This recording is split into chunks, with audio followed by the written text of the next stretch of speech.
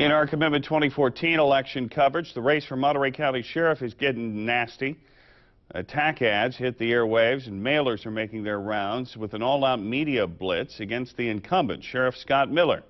Tonight, that sheriff is speaking out. Action News reporter Felix Cortez has more live from Salinas. Well, Dan, the sheriff calling those ads slanderous, and they're raising questions as to who's behind them. Give me a call, and I'll tell you the truth. No, he won't. A media blitz against Monterey County Sheriff Scott Miller says he's not telling the truth about his record in office. But Miller says it's those behind the ads who have a problem with the truth. There's no factually accurate information in any of those statements. Uh, these are just things that are hit pieces that are generated by, in my opinion, one of the uh, one of the three opponents I have.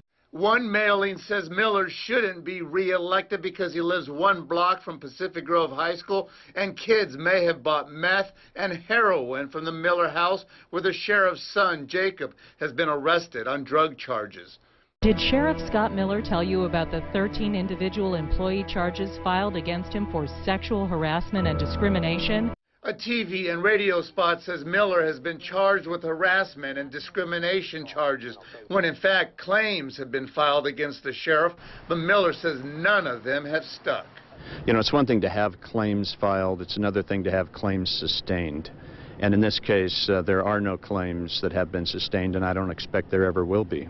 I'm not involved in this uh, whatsoever, and uh, I've uh, I've committed myself to uh, to running a uh, a straightforward campaign without any kind of negativity. Three candidates running against the sheriff were quick to distance themselves from the attack ads, including Mike Richards, who filed one of those claims. The ads are backed by an outside group calling themselves Californians for Law and Order. They claim to have no ties to any one candidate. I would say that these claims are are absolutely based on facts these come from individuals that have either worked for the sheriff or been involved with the sheriff. We stand behind the statements that are in the commercial and that are on the flyer.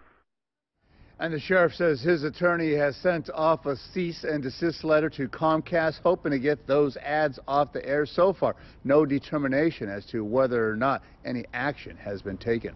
Dan. All right, thank you very much, Felix. Uh, again, there are four people running for Monterey County Sheriff, the incumbent Scott Miller, also, Fred Garcia, Steve Bernal, and Mike Richards. You can find much more information on all of those candidates, the races that are going to be decided, the measures, including profiles of all those candidates on our website.